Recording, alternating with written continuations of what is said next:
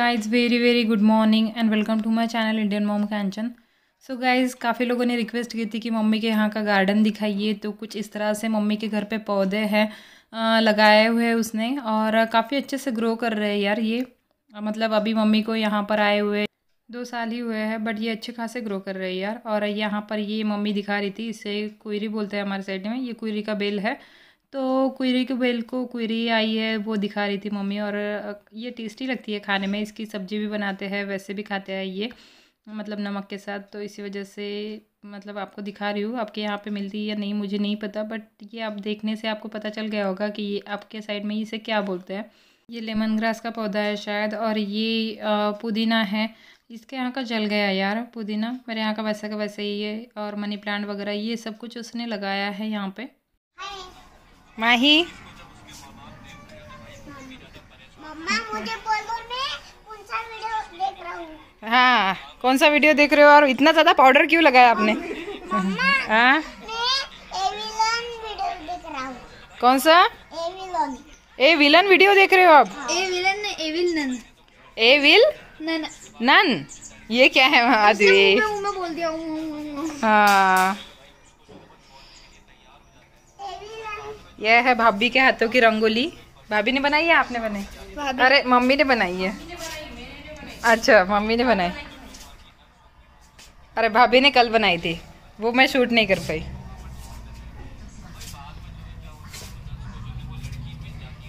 सर्वजण म्हणतात मला भा नाही नाही भाभी किती खाते? दाखवते त्यांना भाभी किती खाते म्हणून. देखो इतना सा खाती है ये देखो. इसी वजह से इतनी पतली है. और इसका खाना नहीं दिखाया मैंने आपको। का रे तुझं दाखवायला पाहिजे होतं मी। ये देखो, ये इसी वजह से पतली और ये इसी वजह से मोटू है। आदमी और हाँ किसी ने मुझे कमेंट किया था कि भाभी बात नहीं करती है तो भाभी बात करो कुछ यार। क्या बात करूँ? देखो। आप खाना खाने हाँ खाना खाने आओ बहुत टेस्टी टेस्टी खाना बनाती है ये। देखो कैसे पूरा चट कर दिया इसने। आधा तो आपके भाई ने कर दिया हाँ आधा भाई ने कर दिया और आधा इसने कर दिया। पूरा खाना खा लिया। और फिर भी बोल रही कि आओ खाना खाने के लिए। हाँ नींबू का अचार भी है साथ में। आज क्या बनाया था खाने में? आज बनाया था इसने अ, वो तुअर के शोले हाँ तुअर वो जो थे ना अरहर की दाल। जो कच्ची अरहर की अरहर की सब्ज़ी होती है वो बनाई थी। हाँ वो पीस के। उसकी रेसिपी मैं आपके साथ शेयर करूँगी पक्का। हम पता नहीं किस किसके साइड में मिलती है लेकिन हमारे साइड में ज़्यादा होती है। हाँ। तो इसी वजह से उसकी रेसिपी भी आपके साथ शेयर करूँगी। और हम्म? और पत्ता गोभी की सब्ज़ी थी। तो आज हम लोगों का खाना हो गया बट जब ये खाना खा रही थी तो मैंने सोचा चलो आपके साथ शेयर कर देती हूँ ये क्या क्या बना रही है आजकल और हमें क्या क्या खिला रही है बना बना के। हाँ, वेट बढ़ा दिया है हमारा। तीन के जी वेट बढ़ गया है मेरा। ये कम नहीं हो रहा है लेकिन चलो कोई बात नहीं कम हो जाएगा उसको डाइटिंग पे लगा देना हम जाने के बाद। माही की एक्चुअली यहाँ पे कुकिंग ट्रेनिंग चल रही है। जब से अ, उसकी शादी हुई है भाई की तब से जब से वो खाना बनाने लगी है नई भाभी तब से वो दो लोहिया उसके लिए रख देती है। मतलब माही उसको बोलती है कि दो ही लोहिया रख दो मेरे लिए और वो रोटी बना के देखती है। तो यहाँ पर उसकी वो ट्रेनिंग ही चल रही है। तो मैंने सोचा चलो आपके साथ शेयर कर दूँ कि क्या चल रहा है यहाँ पे वो देखो। एक्चुअली जब से नई भाभी आई है तब से माही भी अपनी मनमर्जी कर रही है और अद्विक भी अपनी मनमर्जी चला रहा है। यहाँ पर ना वो इतना सिर पे चढ़ा के रखा है उसने कि सब लोग अपनी मनमर्जी कर रहे हैं यहाँ पे। देखो अद्विक भी रोटियाँ बनाने में दीदी को हेल्प कर रहा है और माही की प्रैक्टिस भी हो रही है रोटियाँ बनाने की। तो ये जो रोटियाँ बनाती है माही, ये उसके नाना को खिलाती है बना के और उसके नाना भी बहुत ज़्यादा तारीफ़ करते हैं उसकी। तो इसी वजह से डेली रोटियाँ बना रही है अभी। और मैं वही बता रही थी उसे, जो यहाँ पर उसने बेलन रखा था वो उसमें रखना है, यहाँ पर नीचे नहीं रखना है। और देखो कैसे करती है वो मतलब थोड़ा सा कंफ्यूज हो रही है बच्ची ये सीख जाएँगे। तो उसे इंटरेस्ट है इसी वजह से वो बना तो भी रही है। हे गाय जस्ट नहा लिया है मैंने। मैंने ना अभी तक नहाया नहीं था यार। मैंने एक्चुअली हेयर ऑयलिंग की थी इसी वजह से मुझे हेयर वॉश करना था तो मैंने अभी तक नहाया नहीं था। तो अभी नहाया है और अभी बज रहे हैं। कितने बजे माही? अभी यहाँ पे वॉच तो है नहीं। हाँ एक मिनट मोबाइल। में हाँ अभी साढ़े छः बजे है। और ये लोग मम्मी भाभी और माँ ही जा रही है आम, वो क्या होता है बेबी शावर के प्रोग्राम में। तो मेरे जो मेरा जो भाई है उसके फ्रेंड की वाइफ का बेबी शावर का प्रोग्राम है। वहाँ पर जा रही है। मम्मी बोल रही थी कि मुझे भी साथ में आने के लिए बट मुझे जाने का मन नहीं कर रहा है इसी वजह से मैं नहीं जा रही हूँ। इनकी भी थोड़ी सी तबीयत ठीक नहीं लग रही है क्योंकि अभी ये ड्यूटी से आए हैं। और उनकी तबीयत थोड़ी सी ठीक नहीं लग रही थी अभी उन्होंने टैबलेट वगैरह ली इसी वजह से मैंने सोचा मैं उनके पास ही रहती हूँ। ये लोग जाके आएँगे पापा भी घर पे ही रहेंगे तो पापा भी जाने वाले नहीं थे तो मैंने इनको मना कर दिया आने के लिए वहाँ पे। और मामी रेडी हो गई क्या? हम्म हाँ। नई भाभी रेडी हो रही है तो अभी कैसा है कि यहाँ पर जो भी प्रोग्राम है उसको अटेंड करने पड़ेंगे नई नई है भाभी तो इसी वजह से। और मुझे रेडी होना है अभी बाल बाल सुखाने हैं तो अभी बाल बाल सुखा लूँगी नहीं तो फिर जुकाम हो जाएगा मुझे। अभी इतना लेट नहाया है मैंने आज। ऑयलिंग की थी इसी वजह से मैं ना आलसी हो जाती हूँ यार यहाँ पे आने के बाद।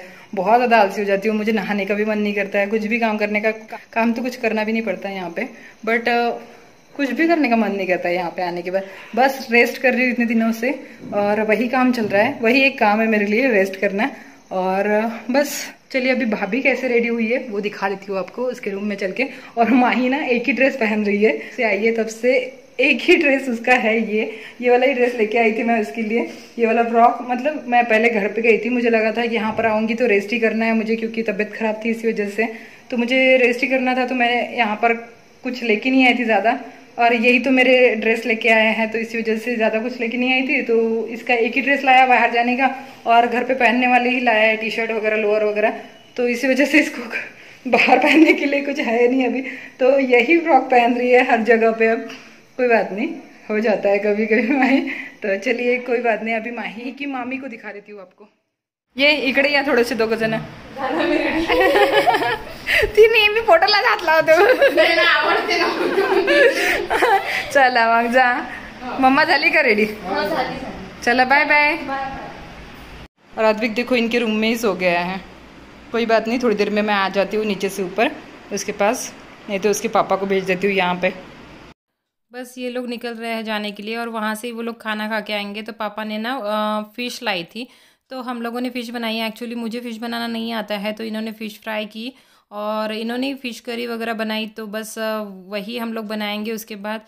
एक्चुअली मैंने कभी फ़िश सीखी भी नहीं और ये बहुत अच्छी फ़िश बनाता है। इसी वजह से मुझे कभी फ़िश मतलब बनाने की ज़रूरत भी नहीं पड़ी।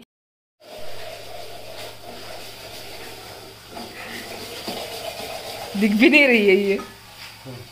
एक मिनट यार ना थोड़ी सी लाइटिंग का प्रॉब्लम है यहाँ पे, इसी वजह से। इन्होंने फ़िश फ्राई बनाई है, क्योंकि ये बहुत अच्छी फ़िश फ्राई बनाते हैं, इसी वजह से इनके मतलब इनकी ड्यूटी है ये फ़िश फ्राई बनाने की। तो फ़िश फ्राई भी बनाई है इसके साथ साथ ये यहाँ पे फ़िश करी हो रही है। बहुत टेस्टी बनाते हैं यार फ़िश फ्राई है कौन सी फ़िश है ये? ये कतला कतला। मुझे तो नाम भी नहीं पता है फ़िश के। हो हाँ, इसी वजह से। इनको अभी देखो ये फ्लैश लाइट लगाना पड़ रहा है। दिखने के लिए अच्छे से। क्योंकि लाइटिंग का यहाँ पे प्रॉब्लम है। इन्होंने मेरे घर पे कैसे प्रॉपर लाइट है तो यहाँ पर इतनी प्रॉपर लाइटिंग नहीं है। तो इसी वजह से ये इतना अच्छे से नहीं दिखता है। ये स्पेशल पतेला है। आप लोग बोलोगे कि ये पतेला ऐसा क्यों है? लेकिन ये नॉनवेज के लिए स्पेशल है। कम बनाना हो कम क्वान्टिटी में बनाना हो तो इसमें बनता है। और अगर ज़्यादा क्वांटिटी में बनाना हो तो ऊपर है वो वहाँ पर रखा हुआ तो उसमें बनता है। हम्म। जैसे स्टोरी बता रही हूँ मैं। हम्म। अरे क्या खा रहे हो? Soya stick. Soya stick tadka.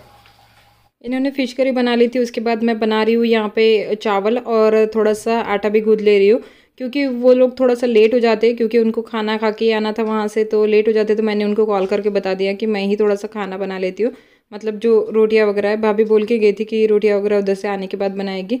But let हो जाता है, इसीलिए मैंने उनको बोला कि आराम से आओ आप, और मैं रोटियाँ वगैरह बना देती हूँ, चावल वगैरह बना देती हूँ थोड़ी से। और दो ही लोगों के लिए बनाना था तो इसीलिए थोड़े से ही बनाना था। और मुझे खाना खाना भी नहीं था तो इसीलिए मैंने उनको कॉल करके बता दिया था कि मैं बना लेती हूँ करके। और यहाँ पर बस आटा गूँध रही हूँ, रोटियाँ बना लूँगी थोड़े दोनों लोग के लिए और उसके बाद वो लोग खाना खा लेंगे। और हाँ जब से मैं अपने भाई की वेडिंग सीरीज़ शेयर कर रही हूँ आप लोगों के साथ, तब से मुझे एक ही सवाल बार बार पूछा जा रहा है। मैंने सोचा फाइनली आज आपको उस सवाल का जवाब दे ही देती हूँ। एक सवाल यही आता है हमेशा कि आपके भाई की ये सेकेंड मैरिज है क्या? आपकी भाई की ये दूसरी शादी है क्या? तो मैंने काफ़ी लोगों को आंसर भी किया है कि हाँ मेरे भाई की ये दूसरी शादी है बट बार बार यही सवाल आ रहा है। बार बार यही सवाल आ रहा है कि आपके भाई की दूसरी शादी है क्या? तो मैं आज आपको आंसर कर देती हूँ कि हाँ ये मेरे भाई की दूसरी शादी है और एक्चुअली मेरे भाई की दो साल पहले शादी हुई थी और उसने लव मैरिज की थी। तो आ, होता है यार, सबके लाइफ में प्रॉब्लम्स होते हैं तो उन दोनों में भी प्रॉब्लम्स थे।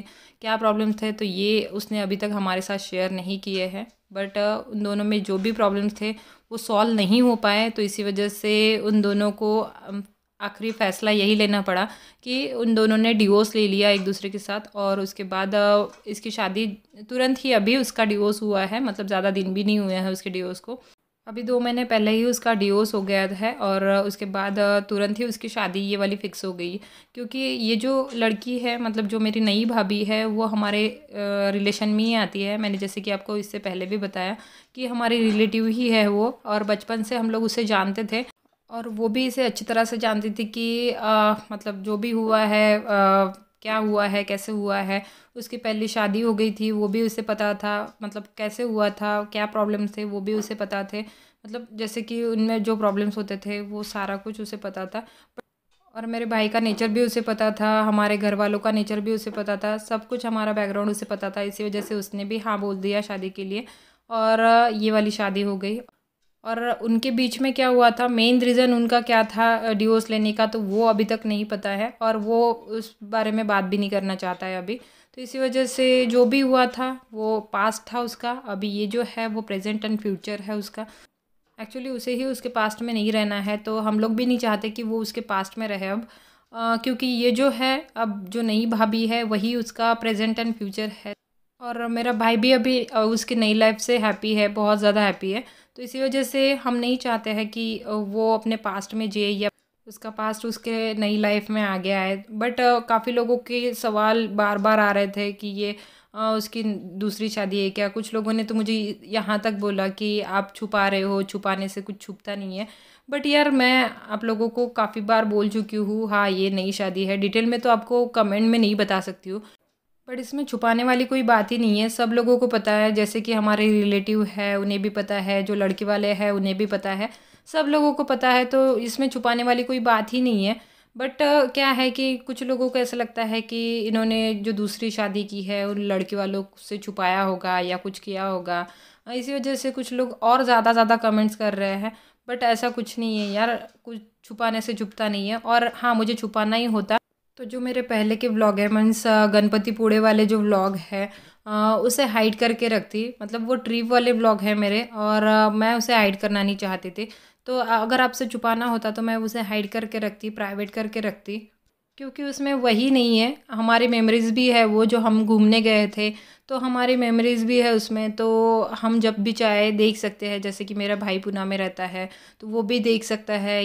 हमें जब भी याद आए, हम भी देख सकते हैं। तो इसी वजह से वो मैंने हाइड करके नहीं रखे है ब्लॉग और अगर मुझे छुपाना होता तो मैं हाइड करके पक्का रखती। इसमें कोई छुपाने वाली बात नहीं है, सबको पता है। और आपको भी अभी बता दे रही हूँ तो इसके बाद आई होप ऐसे कमेंट ना आए। और, थोड़ा सा कैसा है, मुझे हर्ट नहीं होगा, मुझे तो कुछ प्रॉब्लम नहीं है बट जो नई भाभी है, उसे हो सकता है थोड़ा सा हर्ट तो इसी वजह से आप ध्यान रखो थोड़ा सा, क्योंकि आप, अगर आपको मैं अपनी फैमिली समझती हूँ तो आप भी मुझे अपनी फैमिली समझिए। और थोड़ा सा मेरी फैमिली को भी अपनी फैमिली समझिए। वो नई लड़की हमारे घर पे आई है तो मतलब वो हैप्पी है हमारे घर पे बट उसे आपके कमेंट्स पढ़ के हर्ट ना हो इतना ध्यान रखिए। प्लीज़ मैं हाथ जोड़ के आपको रिक्वेस्ट कर रही हूँ। अद्विक सो गया है। अद्वी नाटकू नाटकू। सो गया यहाँ पे अद्विक है ना? नाटक कर रहे हो ना नाटक? समझ में आ रहा है मुझे नाटक कर रहे हो? नहीं। हाँ। अरे अरे अरे पापा भी नाटक कर रहे क्या? सोने का? हाँ मुझे लगा आप लोग सो गए हो अरे। हम्म पापा भी नाटक कर रहे थे आप भी नाटक कर रहे थे है ना? दोनों भी नाटक कर रहे थे सोने का। हाँ। है ना? हम्म। ये सोनू पिल्लू। यहाँ पर मैं आई तो ये दोनों सो रहे थे मतलब नाटक कर रहे थे सोने का। मुझे लगा ये न, दोनों नाटक कर रहे हैं तो इसी वजह से मैंने जैसे ही बोला हंसने लगा ये है ना? तो चलिए फिर इसके साथ इस ब्लॉग को यही पेंट करती हूँ सोते हैं। गुड नाइट आई होप आपको ये छोटा सा ब्लॉग पसंद आया होगा। अगर पसंद आया हो तो लाइक ज़रूर कर देना।